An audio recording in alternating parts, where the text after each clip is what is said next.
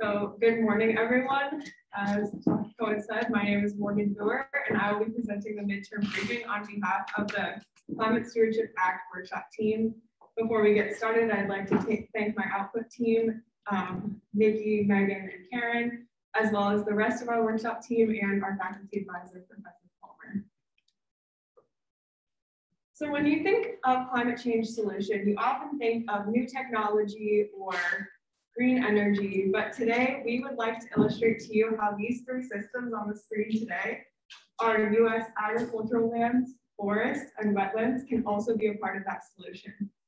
The Climate Stewardship Act aims to improve land management practices for these three ecosystems in order to increase their ability to sequester carbon, thus curbing the effects of climate change.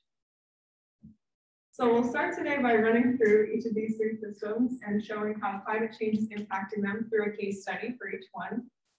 And we will also show how these three systems are contributing to climate change. And then finally, we will show how the Climate Stewardship Act aims to address these problems. And we'll begin with agriculture. For our case study, we'll be examining California, which grows about 13% of the US's uh, total agricultural foods as well as two thirds of our nation's fruit and nuts. In 2015, California experienced a sustained drought that resulted in the loss of 540,000 acres of agricultural lands, $900 million in revenue, and 10,000 jobs. Farmers were also forced to um, tap into depleting groundwater reserves because of the lack of precipitation, thus further depleting the, the, the um, aquifers supply from later generations. And this drought disproportionately affected Latinx communities and other migratory and seasonal workers who rely on the agricultural industry for employment. So ag agriculture can be affected by climate change in several different ways, but today we'll focus on the Southwest and the case of drought. So decreases in precipitation have led to droughts in the Southwest, and increases in temperature have led to the decrease in snowpack and depleting aquifers, leaving less um, available water for farmers to irrigate their lands. And here you can see that same 2015 drought that I talked about before, where yellow indicates abnormally dry regions, and the red in indicates um, exceptional drought conditions.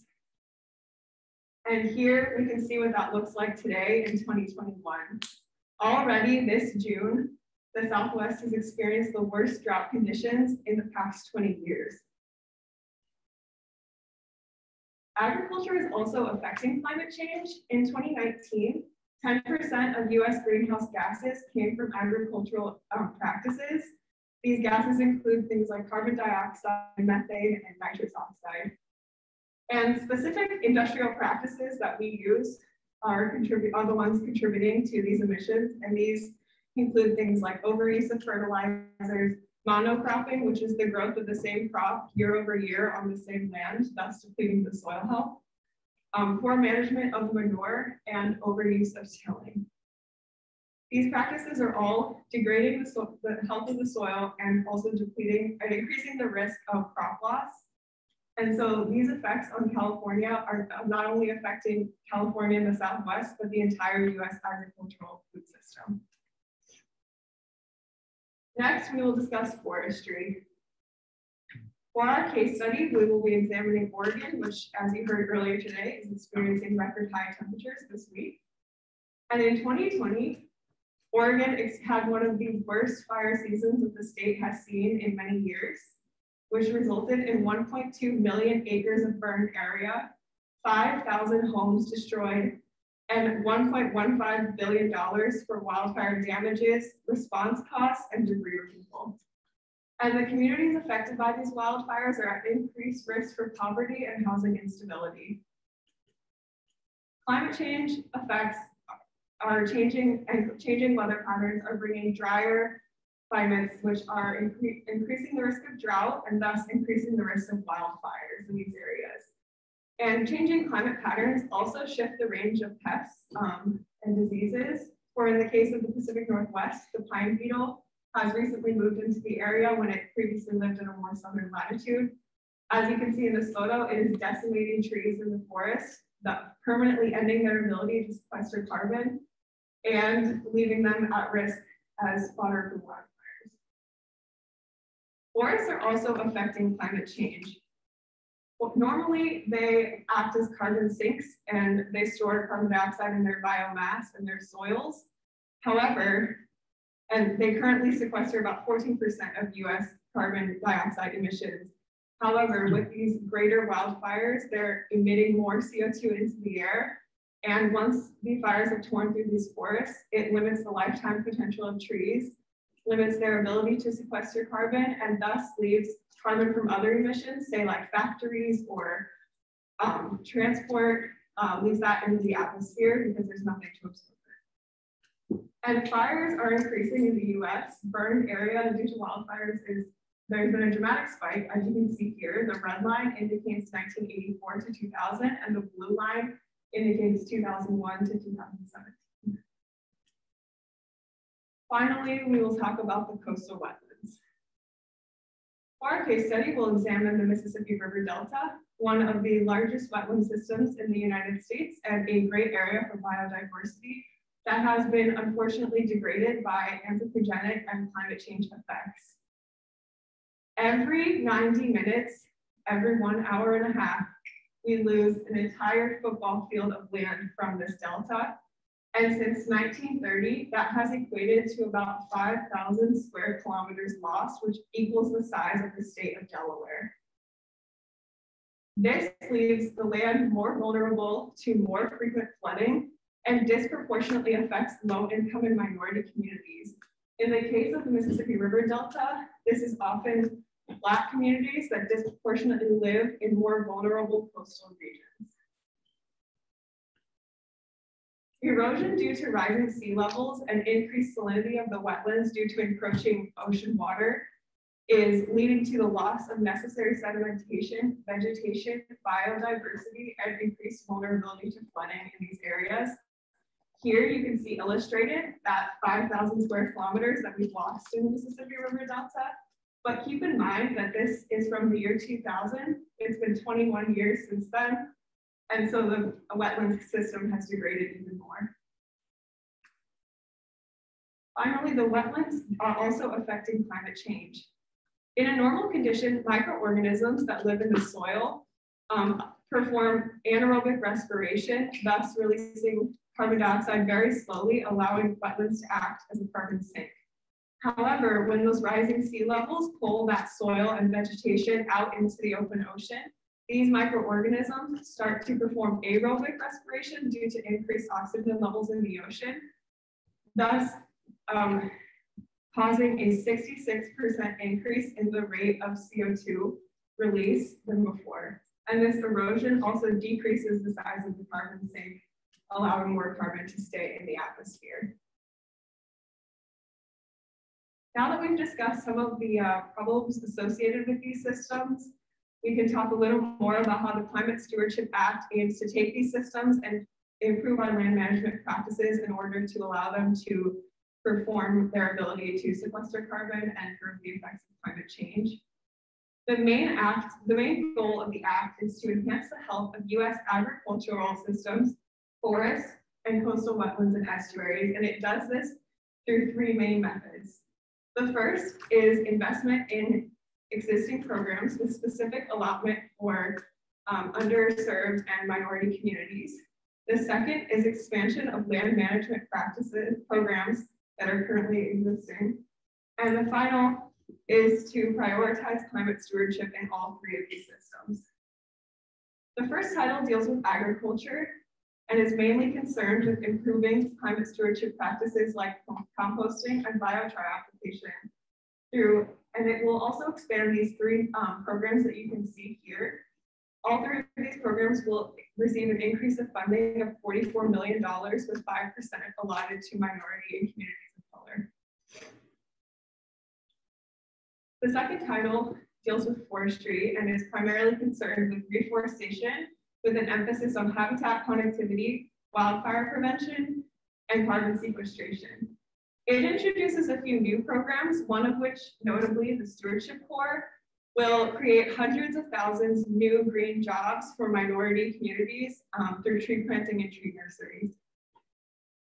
Finally, the last title deals with the coastal wetlands, and it is primarily concerned with management of these wetland systems through technical assistance, data monitoring, and research. And the Coastal Estuary and Resilience Grant Program aims to restore 1.5 million acres of wetlands by 2030. And this will also bring employment opportunities for people living in these coastal, these vulnerable coastal communities. Climate Stewardship Act aims to help turn the tide of climate change through agricultural, forest and wetland systems. And next, and throughout the course of the semester, we will talk more about how these solutions, how we plan to go about these solutions. But for now, thank you very much for listening and I can take any questions.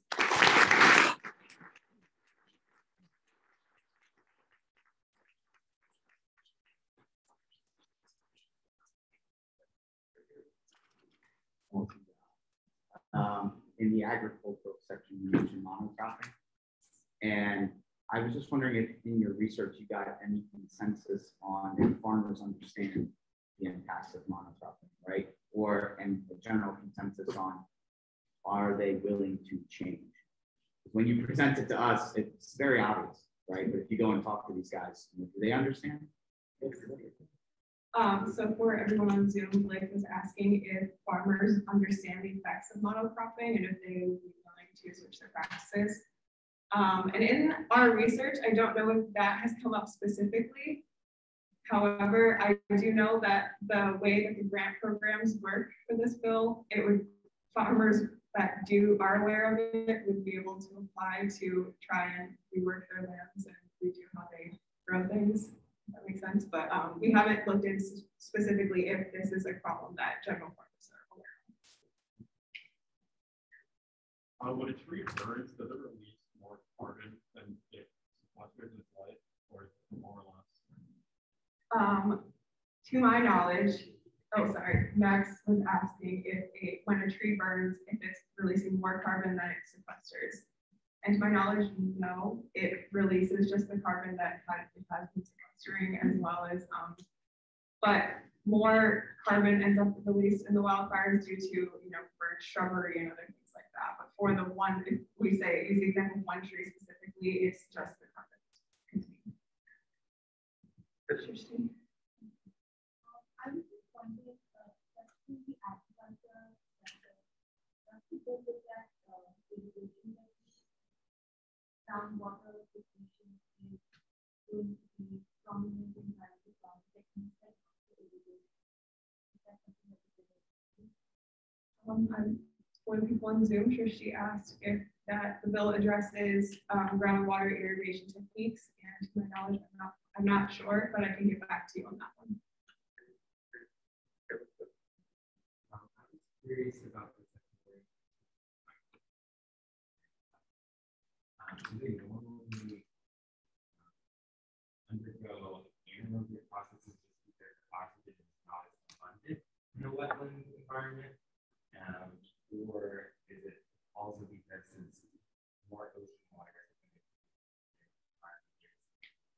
invasive species that are anaerobic and also are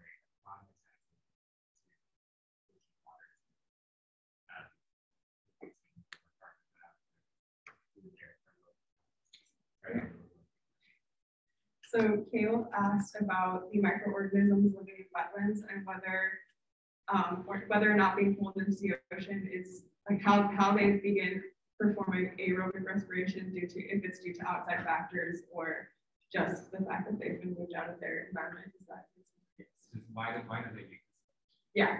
So wetland waters in wetland systems are very still typically. So there's not a lot of oxygen coming in.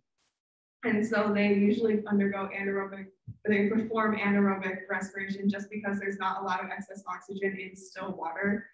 But when they are, when the soil is like broken apart and taken out into the ocean, there are increased there there's greater oxygen levels in the ocean so just because of the increase in oxygen levels there in that environment they're able to perform aerobic respiration if that makes sense.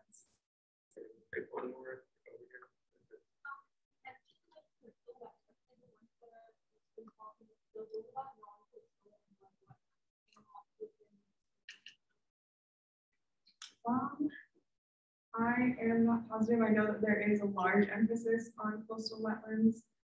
Uh, however, there is some, there is some parts of the bill do discuss how we could take land that was previously turned into, say, agricultural lands in the Midwest, and if um, a farmer wants to apply for a grant to restore that land, I do believe that's included to restore it to its, closer to its original. Thank you very much.